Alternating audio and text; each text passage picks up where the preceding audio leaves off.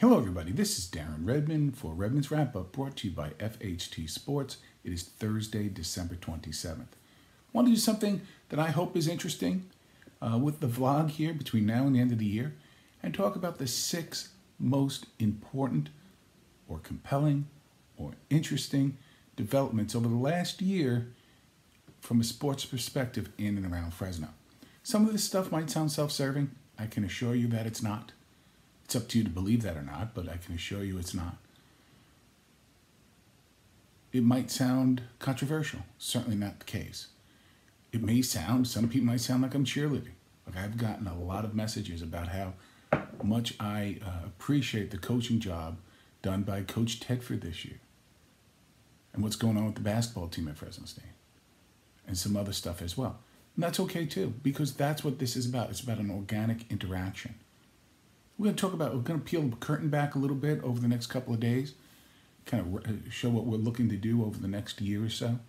But right now, we want to take a look back because if you take a look back and then put it in the rearview mirror, you know what you need to do going forward, or at least it can help. So, number six, in terms of the most interesting developments in the Fresno sports scene this year, is the evolving media coverage here in Fresno.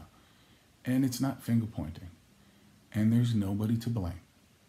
It just is. We talked about this a couple weeks ago, uh, over a month ago, and, and uh, thank you for your feedback, people. Uh, when we were talking about why Fresno State Bulldog football was not selling out. And uh, they had an unbelievable year. And toward the end of the season, there were more and more people, but still not a sellout. And we talked about some of the coverage. And that continues to be the case. If you will give access to somebody or some people or an organization based upon number of clicks and visits and not take the 38 seconds to dive deeper into what are the demographics? Where what are what's coming in? See, there's no one thing. The problem is sometimes we slice up the pie too much in the world. And this is the number six thing. So we'll, we'll focus on this for the next couple minutes. And then the next vlog, we'll talk about other interesting things. The problem is everybody wants a clipboard and a whistle. Everybody wants to be, and these are good people. Don't get me wrong, these are good people. And I'm not talking about any organization. The Grizzlies, the Foxes, the Monsters, the Ice Dogs, Fresno State, Fresno City. It's just, as you know, we cover the NHL, we cover, we see this redundancy over and over. And I'm my 25, not that I know it all, my 25 years in marketing and media, I was selling online advertising in 1995 for Prodigy. So when I hear somebody tell me, "Oh, what's your visits and click-throughs?" and you do, it's I, I just I, I just have to sit back and go, they don't know that they don't know. They think they know. Or I listen to a old print media trying to change the way that they do things. And again, they got some really good people there very defensive sometimes, but some really good people there. I'm not just talking about one newspaper. And they say, well, this is what we're going to do. And basically, what they do is they put a fake mustache. It's like Bobby Valentine. Remember when Bobby Valentine, the New York Met manager, got thrown out of the game and he tried to sneak back in the dugout wearing a mustache? That's what most local newspapers are doing now. And if you notice, the, the, the print gets, uh, the number of pages gets smaller and smaller. And um, the articles are not local. Most of them are taken from uh, UPI or Associated Press or some of the other entities that they own in different areas. Now, what does it have to do with Fresno? Everything. I'll give you a couple great tangible examples. You had an unbelievable Fresno State football season this year.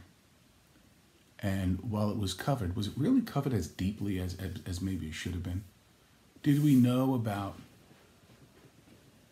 people who are playing offensive line, blocking schemes? What do they do to cover? Did we talk about um, when Ted, uh, Coach Tedford, we talk about working from the back to the front? What exactly does that mean? Did we dive deeper or did we go, let's take a look at the next opponent because you don't have the intelligence, it's my opinion, you don't have the intelligence to actually dive deeper into football. And I'm not saying that, that, that, that you know, I do.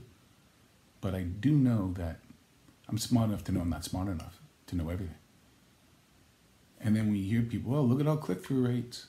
Look at our clicks. Well, well, really? How long are your visits, your clicks? And if you're even talking about CTR, you're outmoded.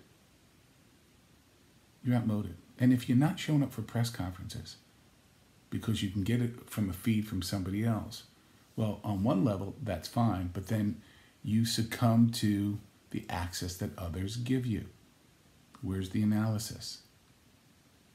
I think the Fresno, people ask, where are these Fresno fans?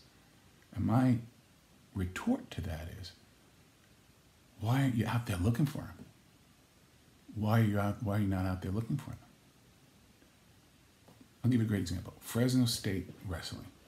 An unbelievable coach. We got to interview him, got to talk to him. Stein is a great man. Last year, as you probably know, and only Christopher Gabriel brings this up, in my opinion, who by far and away is the best sports radio talk show on the West Coast. Bar none. He talks about it, but where's the coverage? Every once in a while, you'll get, if, if there's empty space, you'll, you'll see five or six lines of, of copy. Last year, they were in the top five nationally in attendance. That's all organic. That's not because uh, you know any uh, athletic department made it easier for people to come here. And again, the Fresno athletic department is terrific. Don't get me wrong, but can you imagine if the press actually got behind what's going on there? I think other than us, who else reported that the national heavyweight champion, though he did not wrestle, wrestling for Minnesota, was here a couple weeks ago?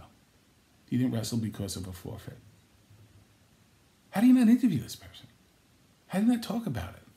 Do you think maybe, especially since tickets were free, if you went to the basketball game, maybe you uh, more people would have been there?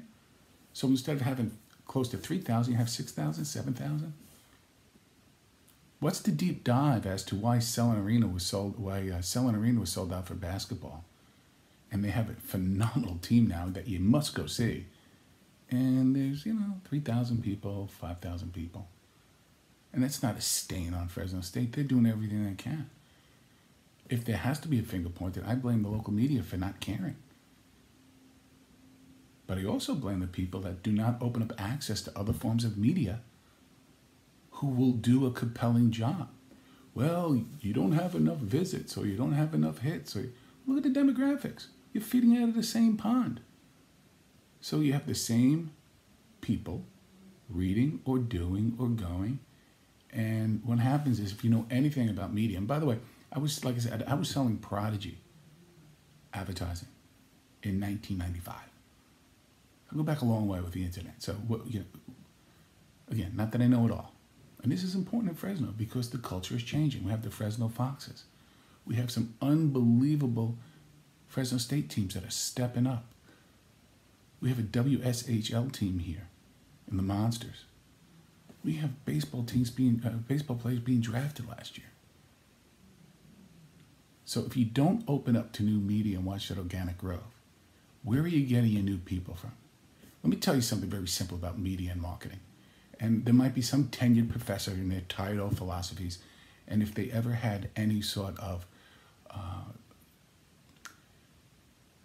ability to be wrong, maybe I'm wrong. Let's let's talk about media and marketing. But people, but over the ten year lifespan, people die, they move away, and they change habits. What are you doing to replenish, to build your base?